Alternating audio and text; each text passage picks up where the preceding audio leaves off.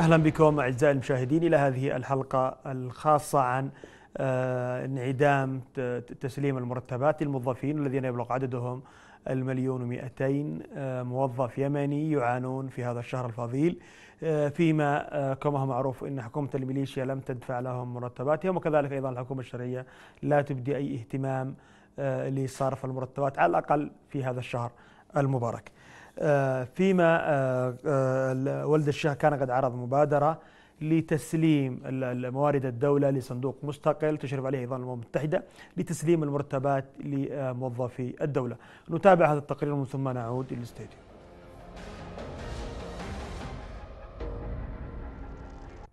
حالة من الاحتقان الواسعة بين الموظفين الحكوميين الذين بات بعضهم يبحث عما يوفر أدنى متطلبات البقاء على قيد الحياة خاصة في شهر رمضان. تدهورت حياة المواطنين والموظفين تحديدا بدءا من سيطرة ميليشيا الحوثي على صنعاء ونشرها لما يعرف باللجان الشعبية في مختلف المكاتب الحكومية داخل الدولة تتحكم أو تتدخل بعمل تلك المؤسسات. ومع عجز الانقلابيين عن دفع المرتبات بعد أن استنزفوا الاحتياطي النقدي البالغ 6 مليار دولار أقرت الحكومة الشرعية في سبتمبر الماضي نقل البنك المركزي من صنعاء إلى عدن. ومع امتناع الانقلابيين في صنعاء توريد عائدات الضرائب والجمارك والاتصالات وميناء الحديدة إلى البنك المركزي في عدن لتغطية مرتبات بقية المناطق الخاضعة لسيطرتهم. يرفض الحوثيون كل الأفكار التي تقدم بها ولد الشيخ مؤخرا أثناء زيارته إلى صنعاء لتجنيب ملف المرتبات الصراع. فقد عرض عليهم توريد عائدات الضرائب والجمارك إلى صندوق مستقل بإشراف لجنة اقتصادية تتولى صرف مرتبات الموظفين باعتبار ذلك حقا من حقوقهم التي لا يجوز لهم استخدامها في دعم عملياتهم العسكرية أو ابتزازهم به. في ظل استمرار الأزمة يوزع الموظفون المسؤولية بين الحكومة الشرعية التي أقرت نقل البنك المركزي من صنعاء. وتطلق تعهدات باستمرار بأنها ستدفع رواتب جميع الموظفين بلا استثناء بما في ذلك المحافظات التي يسيطر عليها الانقلابيون. وهي مجرد وعود لم تنفذ حسب ما يصفها مراقبون. حيث يؤكدون أن تعز التي لا تبعد عن العاصمة الحالية عدن كثيرة لم تصلها مرتبات الحكومة الشرعية. في المقابل يتحمل الحوثيون وحلفاؤهم مسؤولية مباشرة باعتبارهم سببا رئيسيا في الوضع الذي وصلت إليه البلاد واستمرارهم في نهب المال العام وعائدات الجمارك والضرائب والتي تقدر بالمليارات فمكاسب الحرب لديهم أكثر من مكاسب السلام.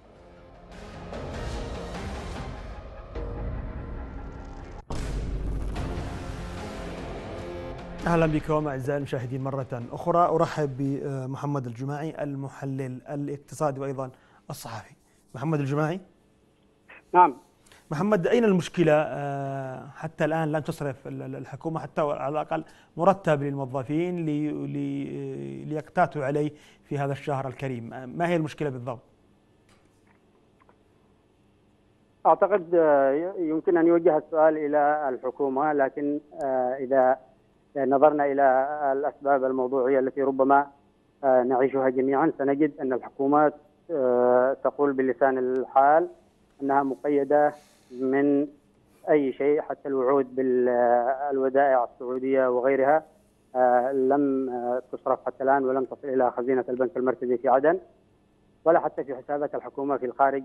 لا يوجد حتى الآن ما يشجع الحكومة على اتخاذ قرار كهذا إلا في حال وصول جزء من المبالغ التي طبعتها في الخارج. وهذا أخي عبد الله يجعلنا يعني نقول أن الحكومة لم يعد المال يصل إليها ولا يدور في البنك المركزي بسبب عدم وجود ثقة من التاجر ومن المستثمر المحلي وأيضا الداعم الخارجي لأن الحكومة حتى الآن لم تستطع أن توجد احتياطي نقدي آه، يعزز من ثقة المتعاملين معها داخليا وخارجيا. نعم الأمر مرتبط بالاحتياطي النقدي وأيضا بتوفر السيولة أم توفر أيضا الموارد. نعم. محمد اشرح هذه الفكرة يتعلق الأمر بالموارد أم بالاحتياطي النقدي أم أيضا بالسيولة أيضا تتوفر؟ توفر السيولة حاولت الحكومة توفير السيولة من العملة المحلية وهي العملة الصغيرة بطبيعة الحال من خلال طباعه الأموال. آه، وهذه لم تكن كافية لإعادة آه، دوران المال في الجهاز المصرفي للدولة لأنها أيضا في سابق الفترات آه، طبعا يعني يعني بالمزاد العلني حاولت بيع عملة صعبة لكي تعيد ثقة الجمهور وتعاملهم معها. لكنها لم تستطع بيع 7 مليون دولار. حسب علمي أنا حتى الآن أن هذه أن هذا المبلغ لم تستطع الحكومة أو البنك المركزي في عدن إنفاقه. ويعني أيضا أعلنت عن 20 مليون دولار عبر البنك الأهلي. لا أحد يدري ما هو مصير هذه الأموال هل بيعت أم لا رغم أنها مبالغ قليلة. نعم مبالغ قليلة. نعم. وهناك أسباب كثيرة رغم أن الحكومة أسالت لعاب يعني رفعت الدولار إلى 300 ريال إلى 285 295 290 رغم أنها تبيعه رسميا ب 250 ريال. لكن لم تستطع عمل هذا وحاولت الصمود في يعني كثيرا في في في الفترة الأخيرة عندما ارتفع الريال السعودي والدولار مقابل الريال اليمني ووعدت التجار بمجرد وصول الرئيس عبد الرب منصور هادي محملا بوعد سعودي بملياري دولار. إلى الخزينة العامة و8 مليار لإعادة الإعمار استطاعت أن تعيده 100 ريال في ليلة واحدة. وقالت للمستثمرين وللتجار أنها تستطيع أن توفر العملة الصعبة لهم في الخارج. فلماذا يعني تضاربون بالعملة الصعبة في الداخل؟ واقتنع الجميع وبالفعل آه، وجدنا الصرافين يلتزمون بهذا على الأقل في الإعلان الخارجي وفي اللوحة الخارجية الدولار بكذا والريال بكذا بحسب ما قررت الحكومة. لكنها لم تستطع أن تفي بتعهداتها تجاههم وكان سبب ذلك أنها أيضا لم تستطع أن تعد ال 700 مليون دولار من الخارج آه التي آه أبقاها الانقلابيون من من الوديعه السعودية وكذلك أيضا لم تستطع جمع الموارد إلى مدينة عدن بسبب حاجة كل محافظة لإيراداتها خاصة المحافظات المحررة. نستطيع أن نقول أن الحكومة تعرضت لخذلان خارجي كبير كبير كبير جدا وحصار على الأقل منذ 2 7 2015 منذ العام الماضي وفي مثل هذه الأيام في شهر رمضان. آه، أخي عبد الله رئيس الحكومة آه، يعني آه، خرج على الجمهور برسالة سميت في ذلك الوقت بالمكاشفة. اشتكى المجتمع الدولي المحلي. يعني بالمجتمع الدولي للمجتمع المحلي وقال لهم نحن محاصرون. ما يزال الحصار كما هو حتى الآن ولا أحد يدري ما هو سبب هذا الحصار رغم أن الحكومة ملتزمة. بكل ما يجب عليها تجاه التحالف العربي آه، نظام البصمه أخي عبد الله طبق في الجانب العسكري حتى أنه لا يمكن أن يصرف ريال واحد خارج إطار لا يوجد أموال أصلا حتى تنهب آه، آه، يعني في في هذا المجال وبالتالي الخذلان الخارجي سبب كبير وكذلك عدم وجود سيولة وعدم وجود احتياطي نقدي للبنك المركزي. محمد محاصرة من قبل من؟ من قبل مؤسسة النقد الدولية مثلا من قبل التحالف نفسه. لم يفي بالتزاماته فيما يخص على الأقل الودائع. لم لم لم يفي بالتزاماته وهو يقول أن الحكومة حتى الآن لم تستطع تفعيل النظام المالي آه، بسبب آه، لأسباب متلازمة منها آه، السويفت ونظام الاتصالات والتدريب والتأهيل وغيرها. لكن أيضا هناك نستطيع أن نقول أن هناك يعني تحرك من صندوق النقد الدولي ومن البنك الدولي أيضا يحاول أن يمسك العصا من الوسط وهذا بطبيعة الحال يصب في مصلحة الانقلابيين وذكره تقريركم الذي قرئ قبل قليل ما هو؟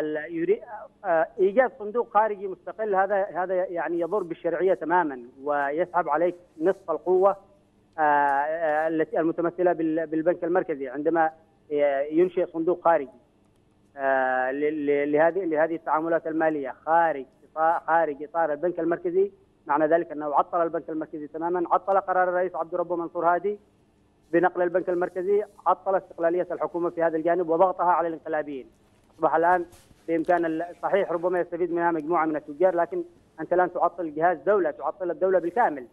آه لمصلحة من؟ آه يقوم البنك الدولي بذلك وقد رفعت أصوات كثيرة في هذا الاتجاه ورفضوا آه يعني تعطيل البنك المركزي. آه، لصالح هذا الصندوق سيكون ب 200 مليون دولار ب 500 مليون دولار لا يكفي وبالتالي نحن أمام آه، يعني آه، مكائد محمد لكن لكن الحكومة وافقت على هذا الصندوق ماذا تقول؟ الحكومة وافقت. يبدو أنها وافقت لولد الشيخ بأنها لا. ست- ستوافق على آه، إنشاء صندوق مستقل لدفع المرتبات وأيضا استلام الموارد من من كل المناطق لا لم حسب علمي لا توجد أي موافقة حتى الآن في هذا الموضوع، الحكومة تعرف ما ما معنى هذا ال- الإجراء ولم تعرض حتى الموضوع على الحكومة لدراسته. ما ما وافق عليهم فقط ال- الانقلابيون في صنعاء وفي جلساتهم مع آه، ولد الشيخ. الشيخ. الانقلابيين ولد الشيخ أنهم أيضا لم يوافقوا أيضا على هذه الفكرة آه، محمد ماذا بخصوص على الأقل مرتب لرمضان مثلا هناك الكثير من الموظفين يتساءلون إذا كانت الحكومة عاجزة كل العجز على الأقل آه، يمكن توفير مرتب لرمضان. بالنسبة للجانب العسكري آه، صدر آه، قرار بتسليم خمس رواتب السابقة وسلم بالفعل راتب شهر ديسمبر الماضي. وأعتقد أنهم بصدد الآن ال- تسليم راتبين بأثر رجعي للعسكريين. بالنسبة للجانب ال- المدني. يعني المدني أعتقد أنه يعني لا يوجد أي موضوع في هذا يعني لم في هذا الإطار وربما أخي عبد الله لو ركزنا على الجانب المتضرر أكثر وهو القطاع الخاص لأنه آه، لديه ثلاثة ملايين موظف يمني هؤلاء يعني آه، قضيتهم أكبر من قضية آه، الموظفين بالرواتب الذين لا يتجاوز عددهم مليون ومئتين ويشكلون 5% فقط من أو أقل من ذلك من سكان اليمن. نعم. آه، آه، إذا محمد ال- ال- القطاع الخاص ماذا به؟ هل هل آه، فقد وظائفه مثلا؟ تريد القول؟ القطاع الخاص يعني القطاع الخاص في اليمن وهو القطاع الذي لم يتكلم حتى الآن لم يصدر عنه أي بيان. الغرف التجارية والصناعية في كل محافظات الجمهورية لم تصدر حتى الآن أي بيان إلا بخصوص المنافذ الجمركية في ذمار وفي صنعاء. وحول بعض القضايا لكن لم تصدر حتى الآن لا عنه ولا عن نادي الاعمال اليمني ولا عن أي مركز دراسات اقتصادية عن تضرر القطاع الخاص. كم تضرر من الذي تضرر لأن رأس المال يخاف من من الحديث حول هذا الجانب وربما يصمت على ألمه. آه، آه، كما يقال في المثل ال- الشعبي آه، يعني يصبر على شبعته. هذا مثل موجود في كثير من المحافظات يعني وخاصة في أبو تعد التاجر لا يستطيع أن يتكلم لأنه يخاف على ما تبقى لديه. وبالتالي أخي عبد الله سرح الكثير وخرجت الكثير من رؤوس الأموال والموظفين لدى القطاع الخاص آه، أكثر من ثلاثة ملايين. بينما الموظفون في القطاع العام مليون ومئتان. لا يتجاوزون مل- مليون. نعم. نعم. محمد الجماعي ال- المحلل الاقتصادي شكرا لك. كنت معي آه، من عدن. نذهب إلى فاصل ومن ثم نعود أيضا لمواصلة الحديث حول المرتبات كقضية تشغل آه، ال- ال- اليمنيين عموما.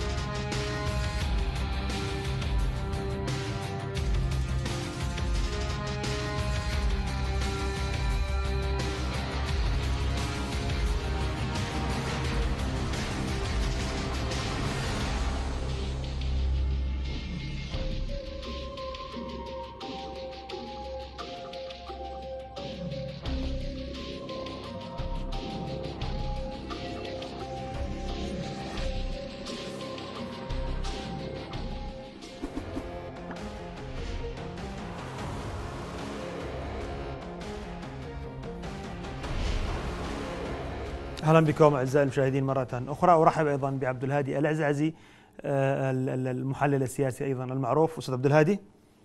نعم معك أخي نعم أستاذ عبد الهادي الحديث عن المرتبات وعن أيضا آه، مقترح من قبل ولد الشيخ بتشكيل آه، صندوق مستقل يستلم الموارد من جميع المناطق وأيضا يشرف عليه اقتصاديون محايدون. وبإشراف الأمم المتحدة لكن آه هذا الأمر رفض تماما من قبل الإنقلابيين وحتى أنهم لم يستقبلوا الرجل آه في صنعاء. من وجهة نظرك من يتحمل هذه المسؤولية الكبيرة للتردي الوضع الاقتصادي التحالف الحكومة الشرعية الإنقلابيين المجتمع الدولي عموما؟ إذا كنا سوف نحمل المسؤولية فأعتقد أن من اقتحم صنعاء بالقوة ومن قاد انقلابا عسكري ودمر الأوضاع بشكل عام واهلك يعني ما يقارب الآن أكثر من 100 ألف يمني أزهقت ارواحهم يتحملها الانقلاب. علينا عندما نوصف المشكلة اليمنية أن نبدأ من الأساس والأساس أن هناك انقلاب وهناك سلطة شرعية وأن كل ما كل التداعيات أتت من هذا الباب فقط لا غير. نعم إذا الانقلاب هو المسؤول لكن هناك ربما آه، حكومة نقلت بنك مركزي آه، ينتظر منها المواطنون على الأقل مرتب لشهر لشهر رمضان مثلا وهو شهر فضيل وتكثر فيه أيضا المتطلبات. أعتقد أن الحكومة بعد أن نقلت البنك المركزي مسؤولة أخلاقيا عن مسألة حرق رواتب الناس أكانت استطاعت إعادة انتظام الموارد أم لم تستطع؟ هي السلطة داخل البلد وهي المصرح لها يعني المصرح لها شرعا وقانونا ويفضل أيضا هي التي بيدها تدبير الأمور ولو وصل الأمر إلى أنها تقترض أو تستدين أو تسترهن المهم أن هذه مسؤولية الحكومة وعليها أن تحل هذا الإشكال بالطريقة التي تراها مناسبة لكن يجب دفع رواتب الناس. ماذا؟ الحكومة أن تتحمل مسؤوليتها في دفع رواتب الناس بعد أن نقلت البنك المركزي واستقرت على الأرض هي الآن مسؤولة أخلاقيا وقانونا وعرفا أمام الناس بأنها المسؤولة عن دفع رواتبهم. نعم هي المسؤولة آه، حتى أنها لا تعلن الأسباب والمشاكل التي تواجهها آه، الحديث عن عدم قدرتها للتحصل على موارد. هذا دائما هي تعلن هذا الأمر تقول آه، لا أتحصل على موارد. أيضا آه، احتياطات نقدية اوعدت بها من قبل التحالف دول في التحالف ولم يتم الوفاء بها. هل تجد أن الحكومة مضطرة أيضا أن تشرح للرأي العام الصعوبات التي تواجه منها ملزمة فقط على الأقل للتخفيف بدفع بعض المرتبات وليس كل المرتبات على الأقل؟ الحكومة آه، من الضرورة أن تواجهها صعوبات والحكومة أساسا مهمتها حل هذه الصعوبات. إذا لم تكن هنالك صعوبات فما الداعي لوجود الحكومة؟ على الحكومة أن تتصرف من منطق أنها المفوضة من قبل الشعب اليمني بإدارة شؤونه ولو وصل الأمر أنها آه، آه، حتى تبيع قسم من إما من الأصول الموجودة للشعب اليمني سواء كانت ارضا أو غيرها أو تستدين من المؤسسات الدولية لمواجهة هذا الإشكال. ليس بالضرورة أن تتلقى هبات أو تبرعات عليها أن تقدم قروض لسد هذا العجز بعض الدول التي تعاني ازمات اقتصادية وليست حروب. تلجا إلى الاستدانة من أجل دفع رواتب الموظفين وتحريك ما يسمى بالدورة النقدية الداخلية. وهل هناك من مسؤولية الحكومة. ليس بالضرورة أن تشرح الصعوبات. لكن الصعوبات لا تعني سوى تاخيرا في الوقت وليس عدم الوفاء والسداد. نعم في الأقل يعني لو لو هناك صعوبات تشرح تقول آه سأفي بهذا المرتب ليس هذا الشهر القادم الشهر الذي بعده يعني على الأقل وليس تتخلي عن المسؤولية بشكل كامل هذه هي الفكرة لكن هل تجد أن الحكومة قادرة على الاستدانة في هذا الوقت مثلا من المؤسسات الدوليه؟ أو أن هناك مؤسسات ترغب في تسيطر كما يقول الإعلام الرسمي على 80% من الأرض وبالتالي هي ما دام تسيطر على 80% من الأرض وهي المعترف بها ولها سفارات ولها تمثيلا دولي أعتقد أن البنك الدولي سوف يتعامل معها ومؤسسات دولية سوف تتعامل معها. الحكومة تسيطر على مناطق إنتاج النفط والغاز وحوالي 80% من الشريط الساحلي بيد الحكومة. وبالتالي هي تسيطر على أجزاء كبيرة. هي لم تبقى معها سوى مجموعه محافظات. عليها تكثيف عملها العسكري وتقديم التزامات. وبالتالي العالم سوف يساعدها باعتبار أنها حكومة شرعية منتخبة. لها قيادة شرعية ممثلة في رئيس الجمهورية. وهذا منتخب.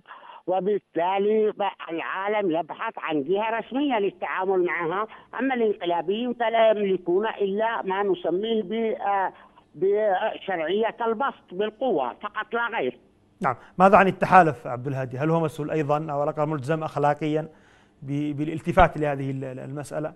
مسألة الاقتصاد التحالف فقط آه، يمكن أن أن يساعد لكن مسألة الإلزام التحالف تدخل لدعم الحكومة اليمنية وبالتالي هذه المسألة تفترض من الحكومة اليمنية أن تقدم طلبا رسميا في هذا الاتجاه لكن هل الحكومة قدمت طلبا رسميا في هذا الاتجاه ورفض التحالف حتى نقول أن التحالف مسؤول أو غير مسؤول؟ نعم هي طلبت عبد الهادي هي طلبت هي هي طلبت احتياطي لرفض العملة مليار دولار مثلا منذ سنة ولم يتم الوفاء به.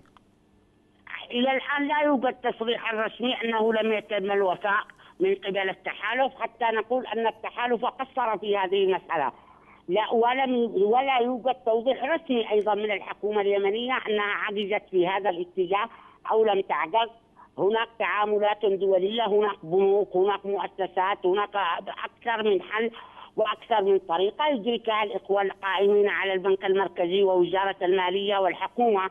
هذه تصرفات العالم بلدان العالم إما دائنا أو مدينا وبالتالي عليها التصرف بطريقة أو بأخرى أيضا عليها التصرف ببعض الأصول الداخلية لسد قسم كبير من هذه العقوجات نعم وهل يمكن عبد الهادي اذا اذا ما, ما الذي ينبغي فعله؟ وهل هناك تاجر أو أو شركات عالمية ان تشتري أصول داخل اليمن وهي تعاني من حرب أهلية؟ في المناطق المحررة نعم هذه عقود دولية والعقود الدولية تتعامل مع سلطات شرعية وبالتالي كل سلطة هذا الوضع ملزمة بسداد ما ما أبرمته السلطة السابقة المعترف بها رسميا. هذه مسائل مرتبطة ببروتوكولات وأيضا باتفاقيات دولية وبمعاملات دولية. على الحكومة تكثيف جهودها والضغط في المناطق المحررة بقوة من أجل جني مواردها وإعادة انتظام مواردها الاقتصادية. الاقتصاد هو المسألة الحقيقية للسلطة. والتحدي الكبير نعم. العسكرية. والتحدي الأكبر للحكومة. الحكومة هي تحضر على الأقل من خلال الوظائف من خلال المال. إذا عبد الهادي العزيز السؤال الأخير ما الذي ينبغي فعله الآن؟ ونحن نواجه شهر فضيل. وأيضا ربما متطلبات عيد أيضا. آه على الأقل شهر آه أو تدفع مرتب شهر للموظفين. أو شهرين. هناك بعض المحافظات يدفع فيها رواتب هي المشكلة في البعض من هذه المحافظات وليس في الجمهورية بشكل عام في المحافظات الجنوبية المحررة يدفع. الرواتب تبقى المسألة في المحافظات الشمالية. المحافظات التي تحت سيطرة الانقلاب الانقلابيين دفعوا نصف راتب. وأيضا والباقي كما كما نسمع من الأخبار ونحن في جزء من محافظة محررة لا نعلم الذي يجري. لكن يقال أن هنالك دفعا جرى بواسطة يعني تحويل شيكات لمؤسسات تجارية تقدم مواد غذائية وغيره للمواطنين وبالتالي على الحكومة الشرعية أن تتصرف بهذا الاتجاه أن تستقر في عدن وأن تعيد النظر في مسألة الإيرادات. ان تنشط ايراداتها، الحكومة بدأت ببيع النفط. عليها إعادة تنظيم مسألة مواردها وإيراداتها الاقتصادية الرئيسية أو المركزيه يمكن أن تسد هذا هذا الجانب بشكل كبير من إيرادات من تصريف المشتقات النفط الداخلية وأيضا من النفط الخام ومن الغاز ومن مسألة السواحل والمناطق التي تسيطر عليها. هنالك ضرائب داخلية وغيرها. إنما بقاء الوضع على ما هو عليه. كما هو حادث الآن لا نعرف أين تذهب الإيرادات. وآلية انتظامها هذه مسؤولية الحكومة وليست المواطنين ولا الموظفين أيضا. نعم عبد الهادي العزازي المحلل السياسي المعروف شكرا لك. كنت معي أيضا من تعز أشكركم أنتم أيضا أعزائي المشاهدين على أمل لقائكم في حلقة أخرى. في أمان الله.